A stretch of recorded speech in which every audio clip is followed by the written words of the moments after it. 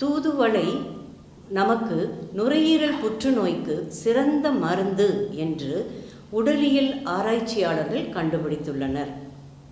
அதோடு தூதுவளை இலைச்சாறு மற்றும் அதே அளவு பசு நெய் கலந்து அதே நெய்யில் காய்ச்சி நாம் அடிக்கடி சாப்பிட்டு வரலாம்.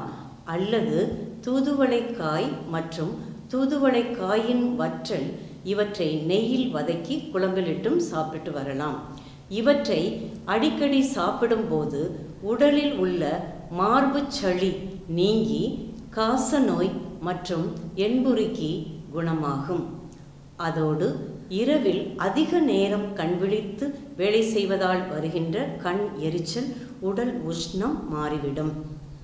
உடலில் ஏற்படும் பல பிரச்சனைகள் நீங்கி மலச்சிக்கலும் தடுக்கப்படும்.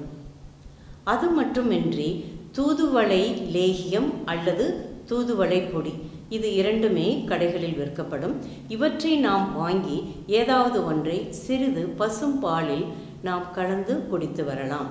அல்லது தூதுவளை இலையின் கசாயமோ மற்றும் தூதுவளை வேரின் கசாயமோ செய்து அடிக்கடி குடித்து வர அல்லது தொடர்ந்து குடித்து வர நமக்கு உடலில் நோய் எதிர்ப்பு சக்தி அதிகரிக்கும்.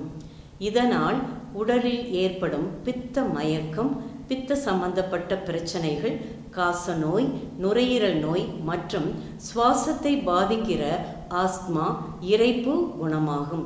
அது மட்டுமின்றி சளி இருமல் மூச்சு திணறல் அதோடு மூக்கில் அதிகம் நீர் வடிதல் மற்றும் வாயில் அதிக நீர் சுரப்பது சரியாகும்.